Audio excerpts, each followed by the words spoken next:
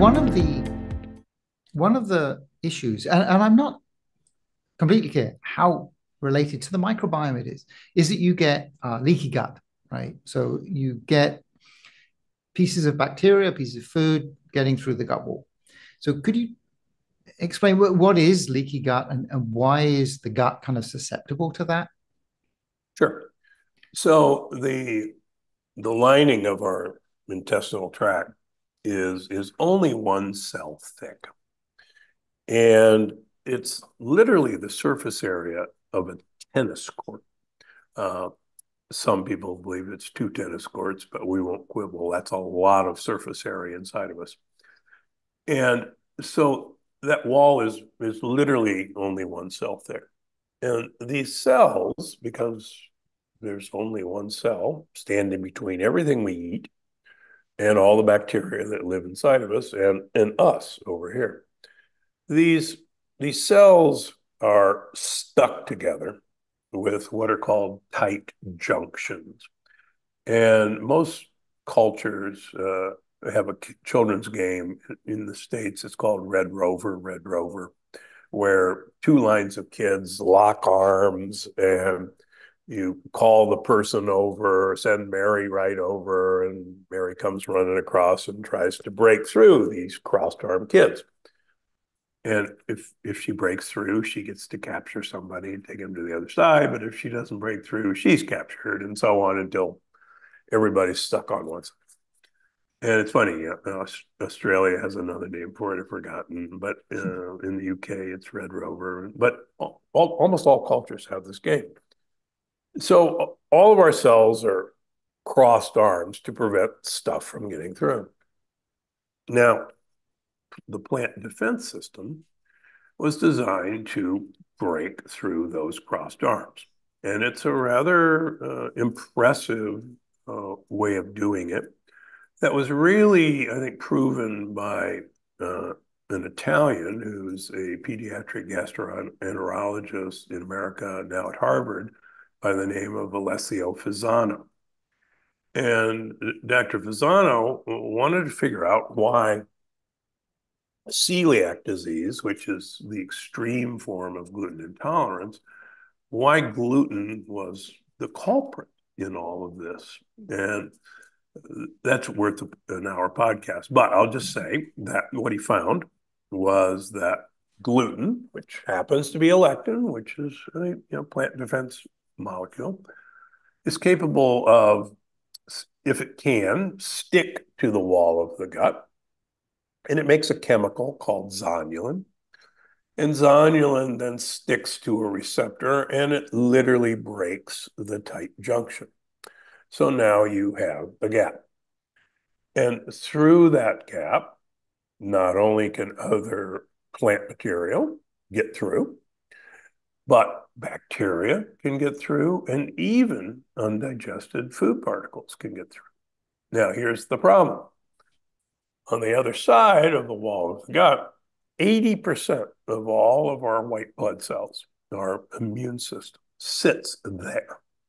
Why? Because if you think about it, that's our largest exposure to the outside world. There's a tennis court exposure to the outside world. And we think of our skin as the exposure to the outside world, but our skin is nowhere near a tennis court.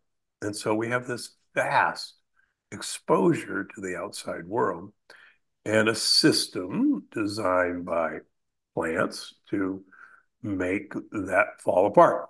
Now, once your immune system sees these foreign particles, it goes, holy cow, we're under attack. Um, the you know the the hordes are at the gate, and we've got to call in reinforcements. Number one, and we've got to alert the rest of the body that there's trouble and prepare yourselves. So we hear about, well, you know, inflammation is the cause of you know, most chronic diseases which is true. But where the heck did the inflammation come from? Well, it came from this basically battle stations cry from our gut immune system that we're under attack. And if this goes on daily for extended periods of time, then and that's how you get chronic inflammation. And that's what we're dealing with now. Nothing wrong with it, with inflammation. If if I get a hmm. splinter in my finger, it's going to get really red and it's going to get really sore. And thankfully, that's calling my attention that it's there. And thankfully, I can pull that splinter out and that inflammation will go away. Imagine that that splinter is on the inside of us and it never goes away because it's constantly leaking through the wall of our gut. And now I've got a, you know, I've got a red sore splinter down there, and word gets out to the rest of the body. In today's fast paced world, stress is something that we all deal with. But what if there was a simple solution to help you manage it better?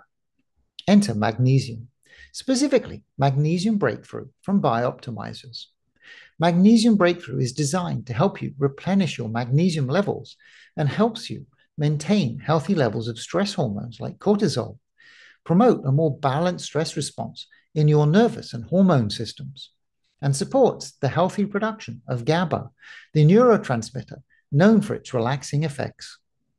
What sets Magnesium Breakthrough apart is its unique formulation containing all seven forms of magnesium my wife takes Magnesium Breakthrough in the morning to help her stay calm and focused during the day, while I take it in the evening to ensure a good night's relaxing sleep. If you're interested in trying Magnesium Breakthrough, go to bioptimizers.com slash modern and enjoy 10% off your purchase with the code modern10. Plus, there's additional gifts waiting for you with each purchase. How, how much accepted is the kind of leaky gut or, or gut permeability in mainstream medicine at this moment? I mean, is it being more accepted? Uh, very slowly. Um, first of all, I, if you had asked me 20 years ago what I thought about leaky gut, I probably, when I was first getting into this, I probably would have told you it was pseudoscience. It was talked about. But uh, again, we now have blood tests to quantify the degree of leaky gut. We now have blood tests to look at food sensitivities, which are very different than food allergies. And we can quantify the repair of leaky gut, and we can show, uh, as I've done, that really all autoimmune diseases are secondary to leaky gut. And you can fix or put the autoimmune disease in remission by repairing the leaky gut. In fact, in my patient population, uh, 94% of patients with a diagnosed, measurable autoimmune condition will go into remission on no drugs in a year, now, within a year of starting uh, the gut check program, which is not bad, I must say. Mm. Mm. Now, I mean, I'll give you a, a very interesting example from today. Let's see if if you can make the connection that the researchers didn't make, and it's not a test. But there was a paper. There was a paper in, uh, out this week. Researchers looking at uh, rheumatoid arthritis, an autoimmune disease, noticed that people with chronic sinus infections uh, had a much higher incidence of rheumatoid arthritis. And that was kind of the purpose of the paper that, hey, you know, isn't that interesting? People who get chronic sinus infections uh, have a much higher incidence of rheumatoid arthritis. Now, having been someone who used to get lots of chronic sinus infections, uh, what happens when you go to your GP and have a sinus infection? What does the GP do for you? It would give you an antibiotic or bingo, of course. Yes. They give you an antibiotic, a broad spectrum antibiotic. And you clear up, but then you get it again, and they give you and uh, more broad spectrum antibiotics. And interestingly enough, what these researchers didn't make the connection is, huh, these people with rheumatoid arthritis had lots of sinus infections, but they didn't make the connection that it wasn't the sinus infection that caused the rheumatoid arthritis.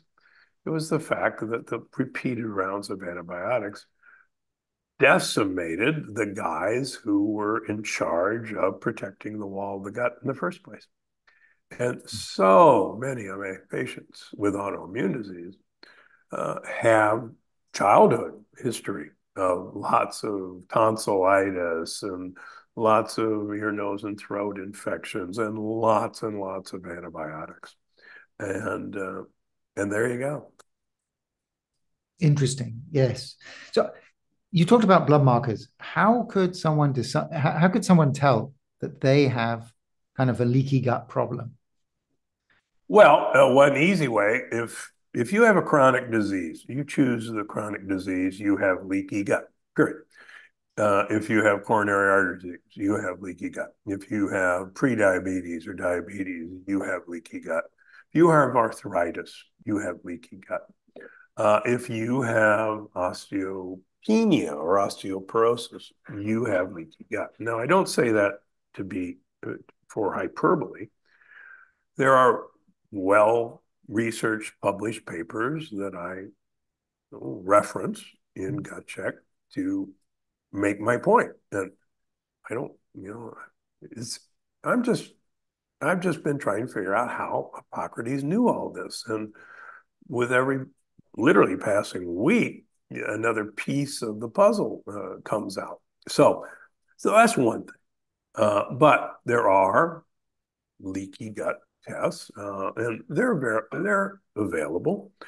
Uh, I use a system looking at anti-zonulin IgG and anti-actin IgG and anti-lipopolysaccharides LPS IgG. But there are other ways to do it. Uh, but you can you can measure it, you can prove it exists, and you can prove that you can make it go away. You can seal the leaky gut. I think another way of, of describing this to people in, in, in, even a more morbid way. So Hippocrates, you know, said all disease begins in the gut. Another way to look at it is that death begins in the gut.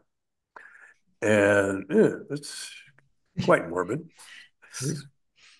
But uh, it's another way of saying that as this wall of the gut begins to break down, like you know the Great Wall of China breaks down, or the wall around a castle breaks down, and the hordes begin to get into the kingdom, then you can you can prove this in experimental animals that that's when all these processes occur and death occurs.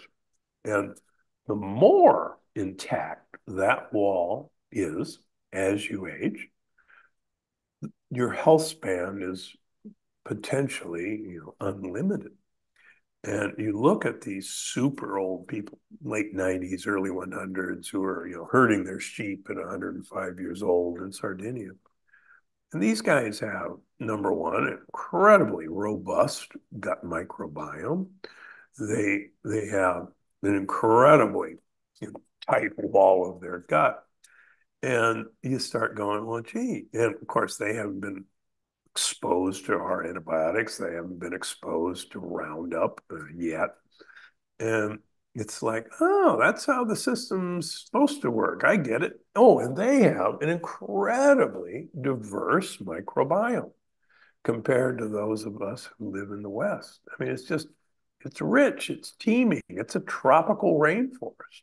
And what we should learn from all this is it really does take a village to have a, a useful functioning uh, higher organism. You need a lot of the single cell organisms that we thought eh, weren't very important.